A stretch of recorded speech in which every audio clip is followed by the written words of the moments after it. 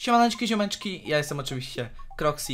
Y, Dzisiejszego odcinka z pewnością y, by nie było, gdyby w nocy ze środy na czwartek Valve nie przygotowało dla nas kolejnego update'u. Ja jeszcze na początku zachęcam Was do zostawienia miłego komentarza z trade linkiem, jeżeli chcecie wygrać skina widocznego na ekranie. No i oczywiście o subie z dzwoneczkiem i e, łapce w górze już chyba e, nie muszę wspominać. Dodatkowo każda osoba, która zaobserwuje mój profil na Instagramie dostanie serduszko pod ostatnim zdjęciem. E, a ja bez przedłużania zapraszam na film. Dziś koło drugiej, trzeciej w nocy grałem sobie Faceita. Po zakończeniu meczu e, wyskoczyło mi powiadomienie, żeby zaktualizować klienta gry. E, no myślę sobie od razu, o pewnie kolejna du durna skrzynka jakaś albo nie wiem, nowy odgłos stykania bomby.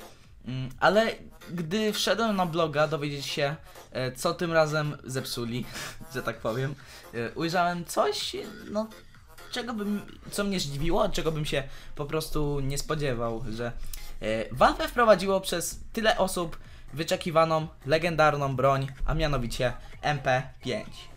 Gdy to zobaczyłem, byłem lekko oczywiście w szoku, że postanowili wprowadzić broń z CSA 1.6, e, no za którą wielu graczy, no nie oszukujmy się, e, tak bardzo tęskniło, a zarazem posłuchali też głosu społeczności, co zdarza się raczej mm, rzadko. Nie wiem jak wy, ale ostatnio odczuwam wrażenie, e, że po tym nieszczęsnym update'cie z 7-dniowym banem na skiny, e, twórcom gry rzeczywiście zaczęło na niej zależeć.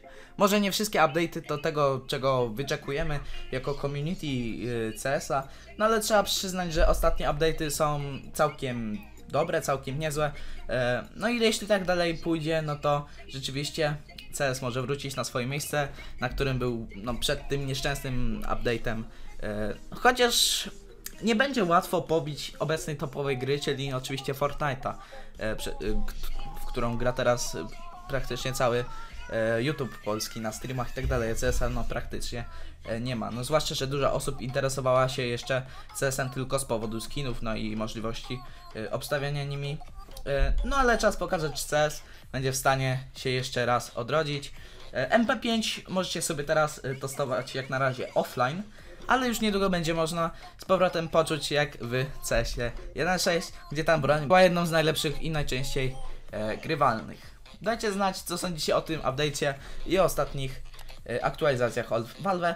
Przypominam oczywiście o komentarzu z linkiem, subie z dzwoneczkiem i łapce w górze, jeśli chcecie wygrać skina widocznego właśnie na początku filmu na ekranie. Ode mnie to już wszystko, trzymajcie się i piona.